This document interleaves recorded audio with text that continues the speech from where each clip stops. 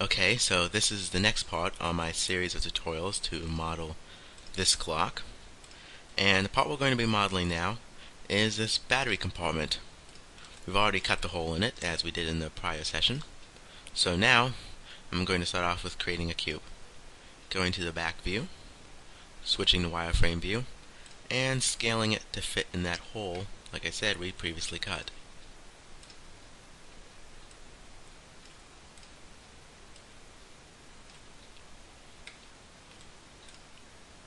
There we go. So, since this is probably the most complex shape of this model, I'm going to model it separately from all the other items in the scene. So to do that, I want to hide them.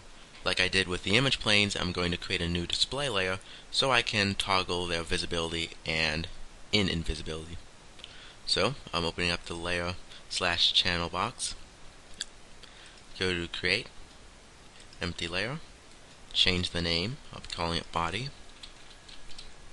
save, and add all the items except the cube we just created to that layer.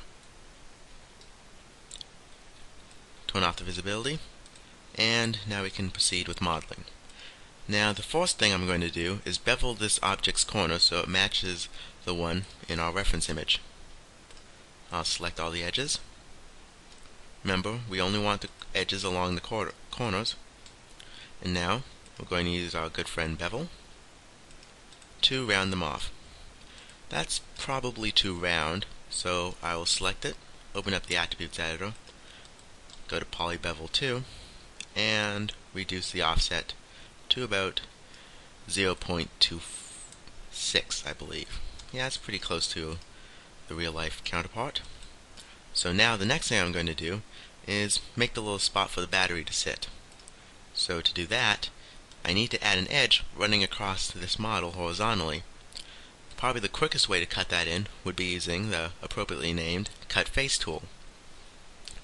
Now the Cut Face tool basically allows you to add slices across geometry. And in this case, I want to add a slice about a quarter of the way up from the bottom, running of course horizontally. Click and drag, then release. You want to get as straight horizontally as you can. Now the next thing I want to do is extrude some faces. So I'm going to extrude the top faces forwards.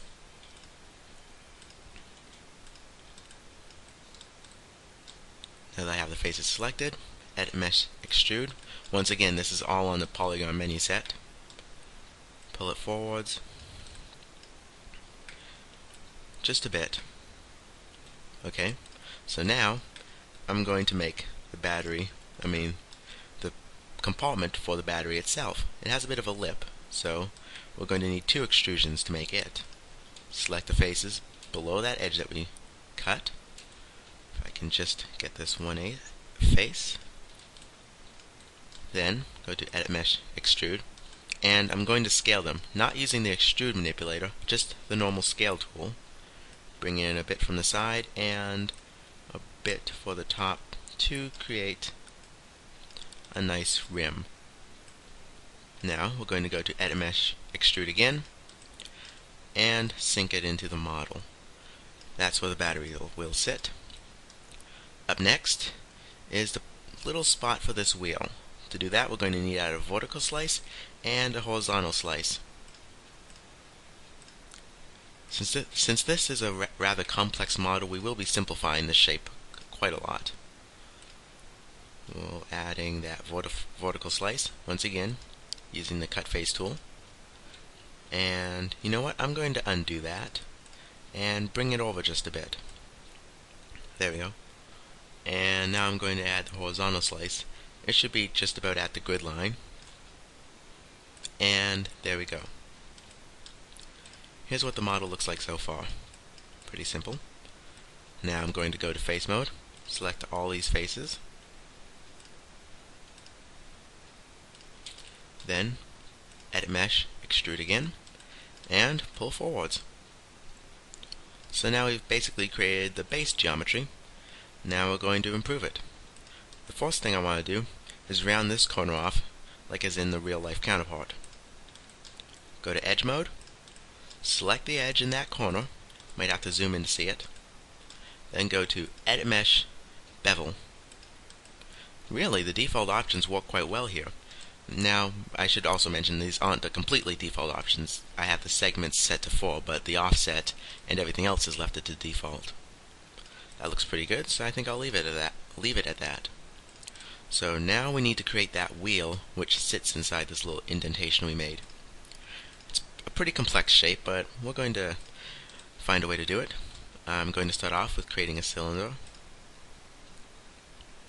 I want the axis divisions to be 30, and we'll just leave the radius and the height at 2.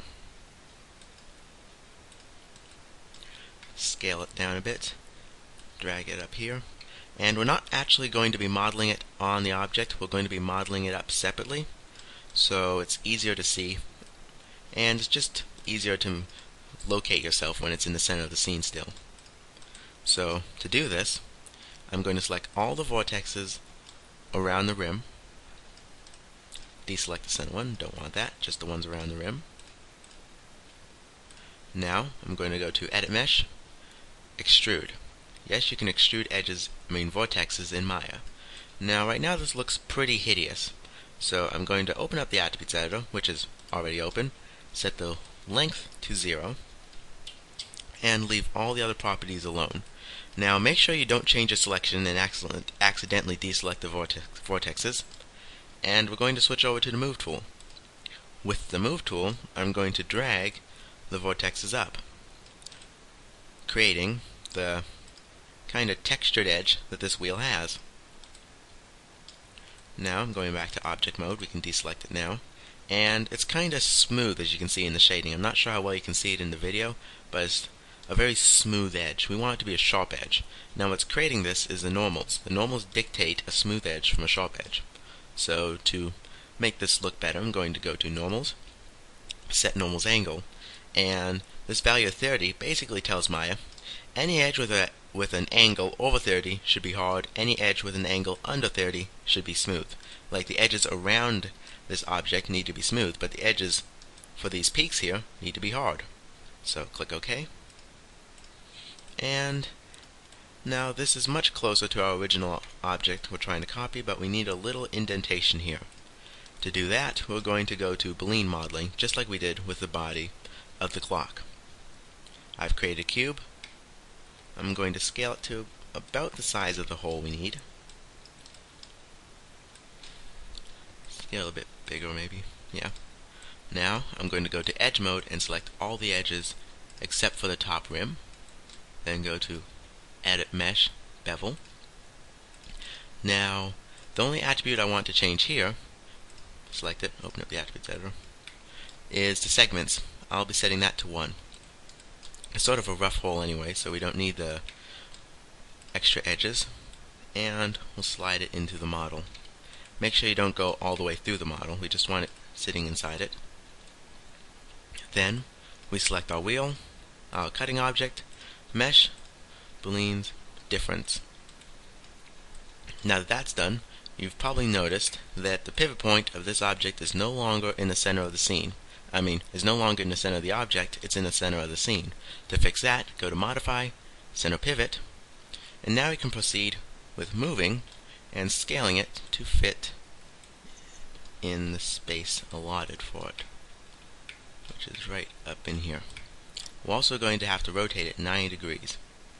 Now, rotating it by eye is not an accurate enough way to rotate it 90 degrees. What you should do is, when the object's selected, go in the Attributes editor, go to the first tab of all these other tabs you have and set the rotate value to negative 90.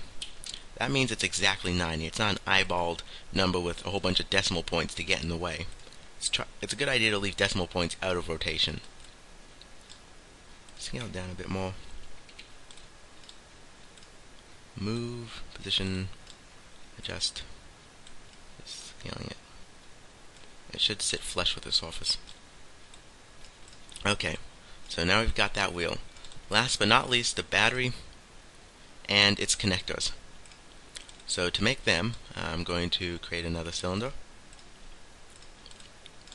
scale it, rotate it, once again ensuring that it's exactly 90 degrees by using the attributes editor.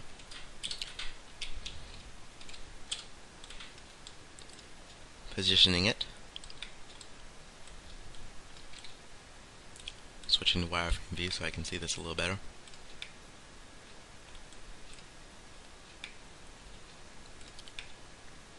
That looks about right. Yeah, a bit small actually. Smooth shaded. Okay, so now we need to clean up the edges around our battery. Right now, it's a solid edge. We want to bevel that edge, just like we did this edge here and the rest of the model. So, we could spend time and select every single edge all the way around this point, but that would take a while. Because they go all the way around an item, we can take advantage of edge loops, which basically means Maya will select all these edges because it knows they're following um, a specific order, you could say. So I'm going to go to the Select, remember this is on the Polygon menu shelf, Select, select Edge Loop tool, I double click on one edge, and it selects all the edges around that point. I repeat the task on the opposite side. You don't need to hold shift, it will add it to the selection regardless and now we have those two edges selected. Edit mesh bevel. And we're going to reduce the offset significantly. About 0.05 is what I've got. It's actually closer to 6 and there's our battery. Now the last thing we need to do is the connectors. So I'm going to create a cube. By the way you've probably uh, understand by now this type of modeling is commonly referred to as box modeling because most of this geometry comes from boxes. It's also known as modeling using primitives because all the geometry I'm using, with the exception of the body, was generated from primitives. Primitives are stuff like cubes and cylinders. I'm actually going to vortex mode to scale this battery connector. And now I'm going to select the front face of that cube we just created. One second. Go to extrude, move it forwards and a bit to the left. So it's slightly angling into the battery, making the connection.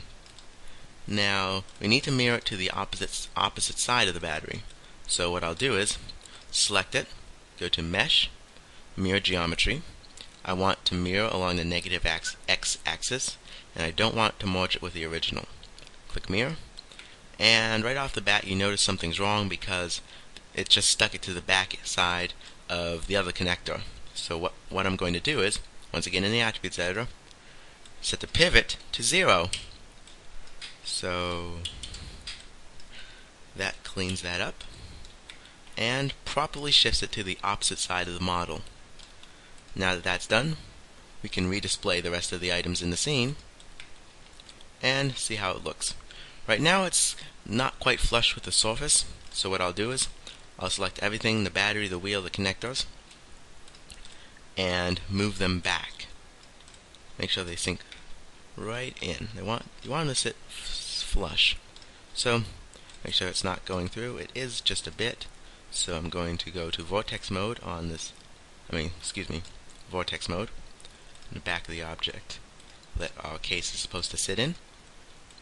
Slide that back to make sure it doesn't protrude through. And we're good now. So that concludes this, this part of the series. Save it as part 4